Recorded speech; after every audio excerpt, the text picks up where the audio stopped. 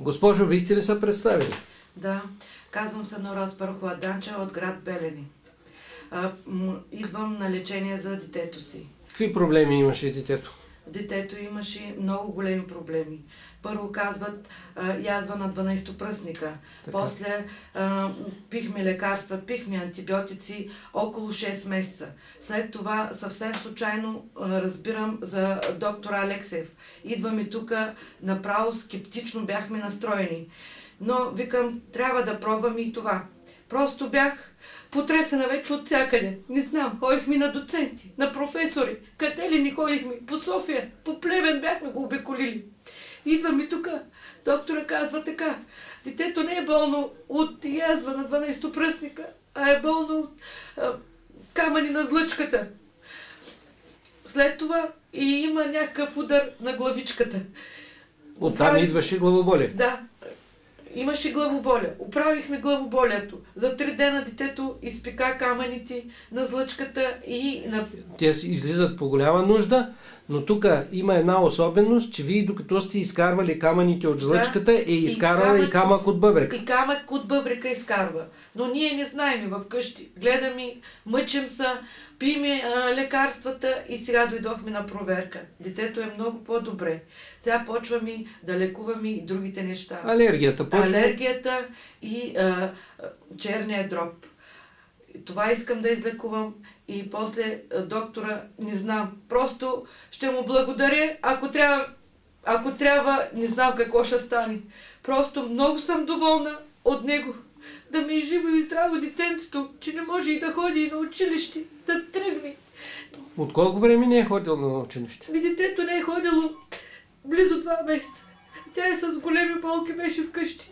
Да се стеми. На какво ли не? На какво ли не? А сега как е? А сега е много добре.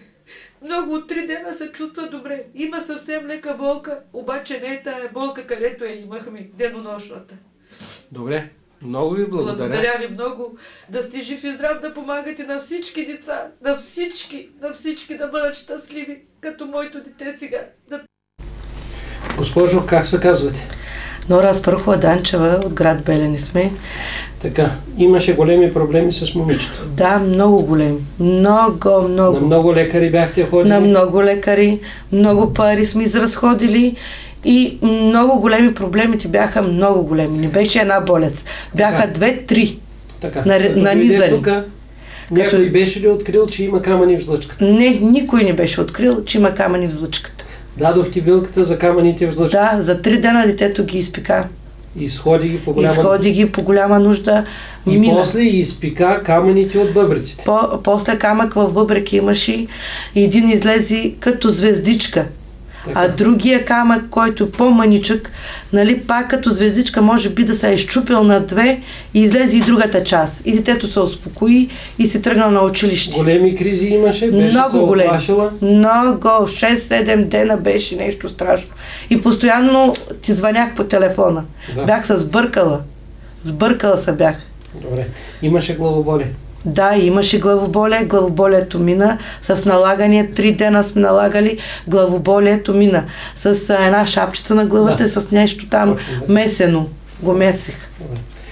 Твоята приятелка е изкарала камъните от. Да, жива, здрава, моята приятелка в момента даже тръгна и на работа.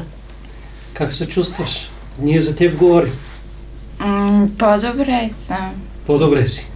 Само главата дете Главата сега- сега малко от настинката се е провокирала, но тия големите проблеми ги оправихте. Тия Да. големите проблеми, да. Добре. Много ви благодаря и на двете. Да се жив